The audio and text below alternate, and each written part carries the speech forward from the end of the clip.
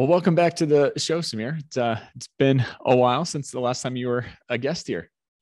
Uh, thank you for having me back. Uh, I assume that the last one didn't go so so bad, so uh, it's a good sign that I'm back. Uh, Excited no, to. Very very happy to be back. Yeah, awesome. Excited to have you. You guys have been busy over in Autodesk construction land over the, the last couple years here, launching uh, a whole new stuff. Last time you were on, you had just kind of launched the the unified platform products with build, takeoff, and um, BIM Collaborate Pro and everything. So what's uh what's been going on over the uh, last uh, two know, years? As, as as you said it, you know, we've been a little bit busy. Uh, you know, the the world has uh, also changed uh, quite a bit since we last spoke. Um, and uh, you know, we've we've kept our head down and and continue to sort of deliver on the promise that we made to our customers and to the industry of really sort of you know delivering a a connected construction platform that that's comprehensive that's connected, uh, that's intelligent. Uh, you know, like you said, we since we last spoke, we we, we launched our uh, flagship uh, unified platform that includes Autodesk Build, Autodesk Takeoff, Autodesk BIM Collaborate, that really satisfies all the critical workflows across the entire life cycle of a construction project. Uh, but since since we launched, uh, we've we've continued to add more capabilities and more enhancements and more power to, to that platform. We've had over 300 improvements in the platform uh, in just in the last 12 months. Um, wow. and, and, you know, our, our, adoption has just skyrocketed since we last spoke and since we, since we launched uh, the solution, you know, just in the last six months. We've had over 200% increase in the number of projects that have now started on our unified platform. Our customers are migrating, you know, at a, a rapid pace from some of our other uh, solutions uh, onto the unified platform. So that keeps us on our toes, keeps us busy. Uh, our customers are not shy about telling us how else we might be able to service their needs in our in our unified platform uh, to make their processes even more efficient. And we're always, you know, uh, happy to take their input and and incorporate that into our roadmap and continue to uh, deliver at this frantic, high velocity pace. Yeah, nice. Anything surprise you in that? You know, really launching the the unified platform and uh, this kind of two year journey that you guys have been on? Yeah, you know, uh, what, what surprised me is actually the the pace and and and the confidence with which our customers have really embraced sort of this new new dimension and sort of this new horizon mm. of what we're delivering. You know, uh, I, have I've done this, you know, for for for for uh, two and a half decades now where i've seen you know when new products are introduced and new platforms are introduced it, there's a certain amount of ramp up time. You you know you go through the first six eight months where you know it is you know sort of ramping up slowly and then there's an inflection point. and sure. what surprised me is that we saw that inflection point literally in the first two months of, of launching. You know typically that takes about eight nine months. Uh, so i was pleasantly surprised by that. Um, you know I, I was also very surprised with how resilient the construction industry has been uh, through through the course of the last couple of years through the pandemic uh, and uh, in some sense the pandemic maybe you know uh, gave them a, a, a, a must-do reason to embrace uh, digital platforms uh, more aggressively. So maybe that has something to do with the pace at which we've seen the adoption. Mm-hmm. but you know, it always surprises me and, and positively surprises me on how resilient this industry is and how open they are to, to embracing um, these new capabilities to really turn, turn their you know business into into efficient powerhouses. Mm, yeah, absolutely. You know, the construction industry takes a, a hard uh, rap of, of of not being willing to embrace technology, but I don't think that's entirely true. I think that the last two years has more than debunked that. That yeah, I mean, if you think about an industry that um, you know it has to be done in person, right? Like buildings have to be built in person, right? For that industry to reinvent itself in a span of literally months, um, to, to, to build things in a new way where not everybody has uh, can be sort of uh, on the job site in person that's a massive paradigm shift you know a shift that typically takes decades and this industry had to do that in a couple of months and they pulled it off right and mm-hmm. and in doing so they actually made the industry operate better than it ever has which is just mind-blowing yeah yeah there's i say there's so many just incredible creative problem solvers in the the construction industry. I mean that's so they do on a, a day-to-day job is, is, figure out how to solve problems but um, it's cool to see them see them do their thing. Uh, so you guys recently announced bridge. Yeah uh, what is bridge Yeah, uh, you know, I'm so excited to kind of talk about that. You know, as, as we, as I mentioned, you know, we are always looking and hearing from our customers on what their key pain points are. And, you know, one of the things that has come about as, as they've embraced sort of uh, this new horizon um, is that, look, you know, we, we are used to working in an environment where all information is collected in one place. But what actually happens under the hood is that although there's one place where information is collected, there are copies and replicas of that information sitting all over the place. Mm-hmm. You know, I, am a GC. I have this, you know, my central, uh, my common data environment, and there's all the information sitting out there.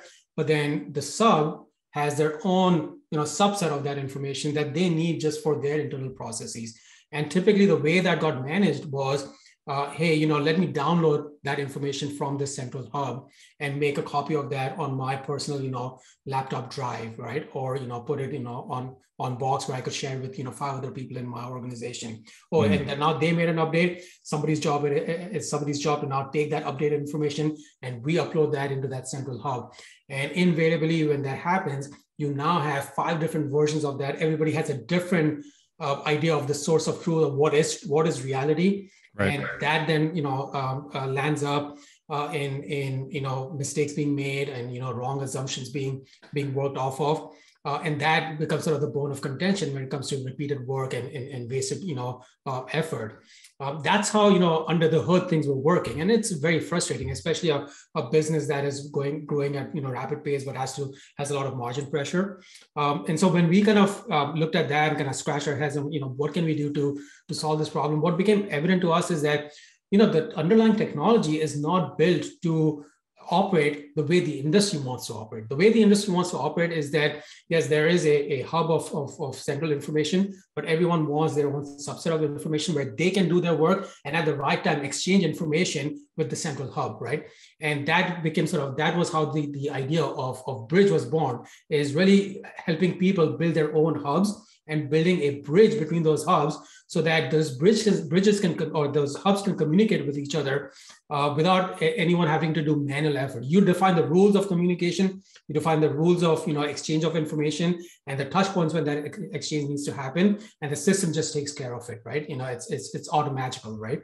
Uh, and and that's what Bridge does. Bridge allows uh, our customers to set up, you know, for their organization, their their their hub of of data, and bring these hubs together or you know get these hubs to communicate with each other through bridge uh, under very defined sort of rules that adhere to sort of their business policies uh, and and you know all of the heavy lifting in, in terms of keeping information in sync uh, happens under the hood without anyone having to do any massive effort. So they can continue to doing their business. They can continue to focus on what's most important uh, to getting their job done without having to worry about you know moving documents emailing documents back and forth keeping things in sync. All of that pain just goes away.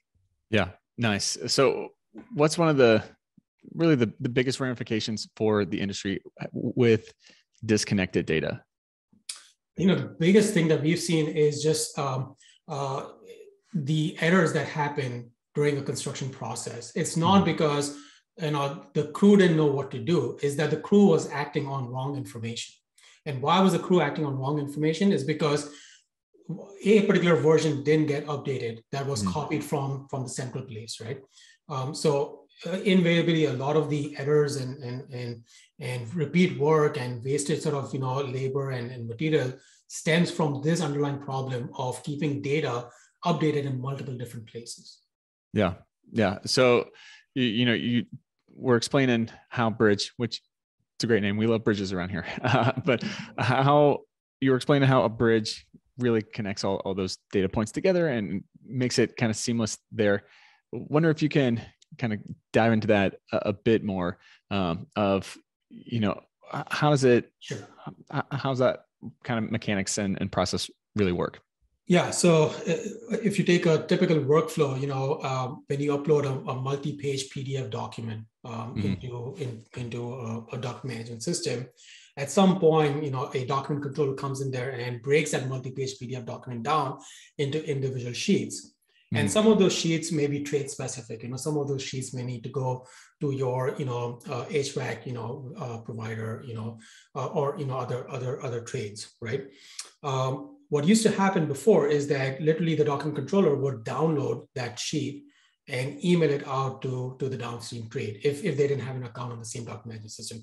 A leg up from there was, okay, let me give them an account. Well, so the HVAC vendor would come in and they would say, well, I, I have access to it, but I can do my markups on this sheet because you know I, these are my internal markups I don't want these to be visible across the board to everybody. And more mm-hmm. importantly, you know, these are things that I need to do for my own record keeping. So even after the project is ended and I don't have access to the central hub anymore, I still need to keep a record of what I did um, so that if there are questions downstream, I have that information to point to in order to provide my answers, right? Mm-hmm. And so invariably, what what what the um, uh, vendor would do is download that sheet. Even though they had access to that central in, uh, uh, repository, they would download that information and store it in, in some other uh, system that they had.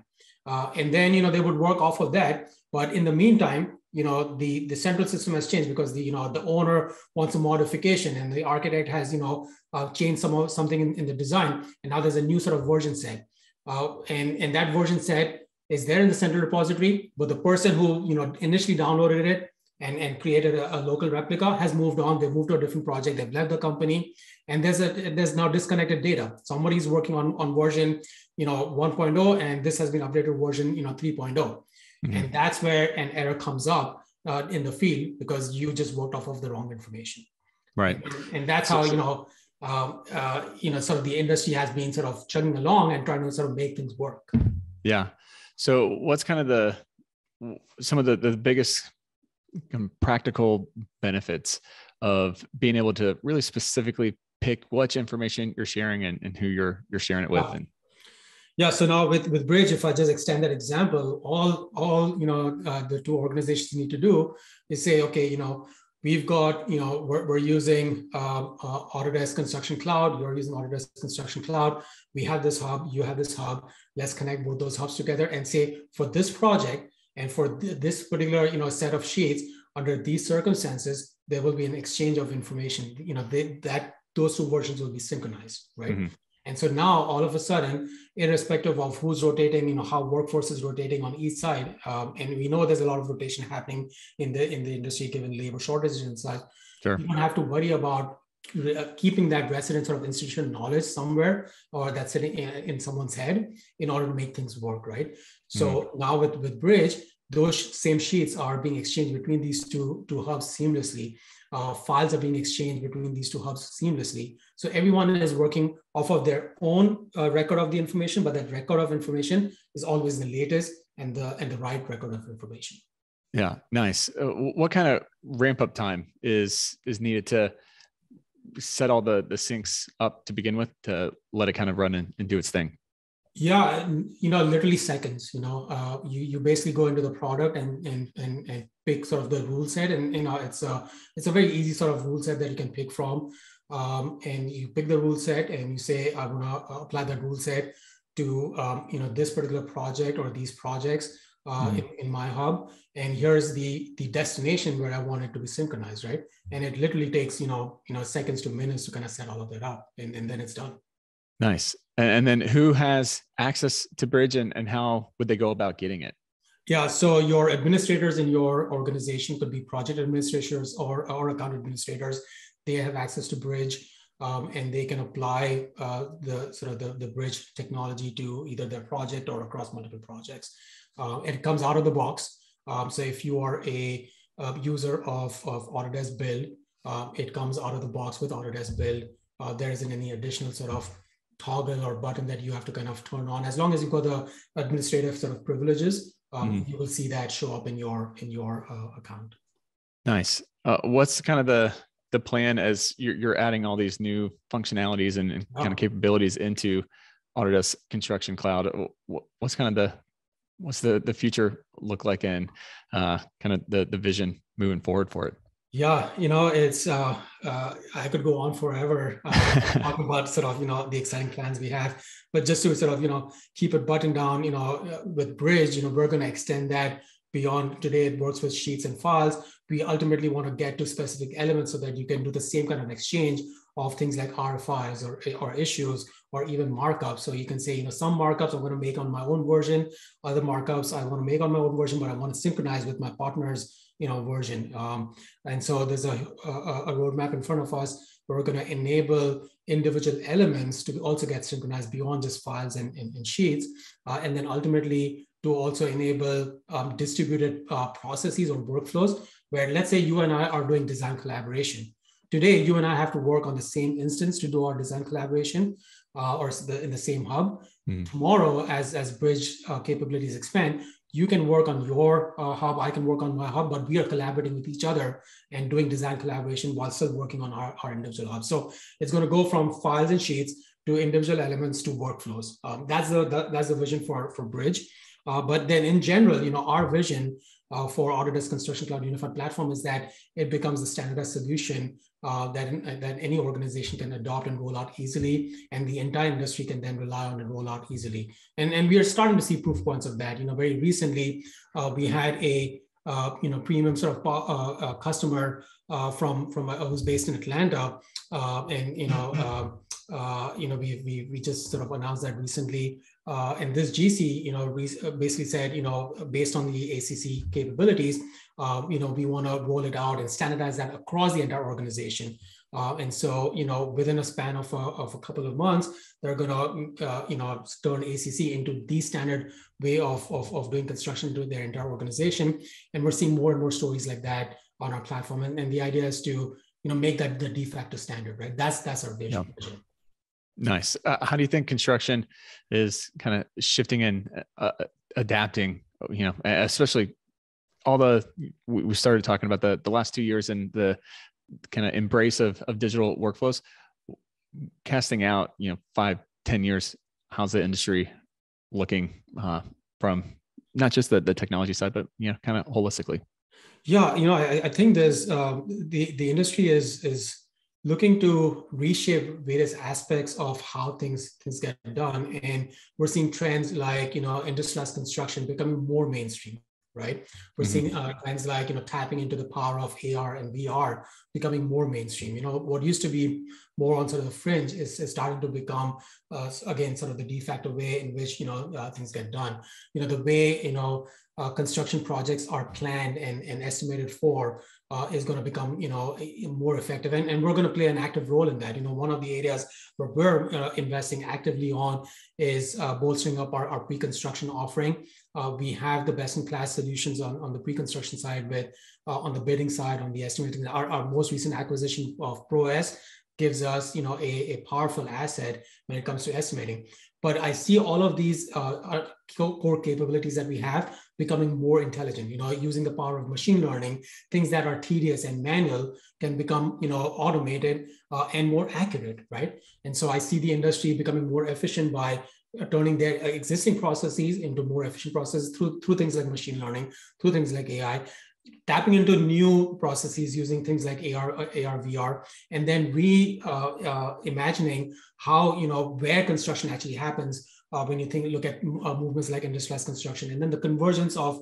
of of construction and manufacturing, where again you know we have a lot of experience. We see that happening more and more, so that not only are your processes getting reinvented, but where you actually do the construction and you know how how act, uh, uh, uh, you know how aggressively you do construction and you know how uh, uh, uh, standardized processes are followed sort of offsite. That we think is a big, big opportunity and a big movement happening there. So, projecting 10 years from now, I see a big part of our construction happening in, in industries with lower waste, with you know more more fine-tuned sort of you know precision uh, and and you know with sort of labor uh, that is trained in in those uh, those effective ways, and they find you know our labor finds that work you know as fulfilling um, as as they find work fulfilling today. Mm-hmm.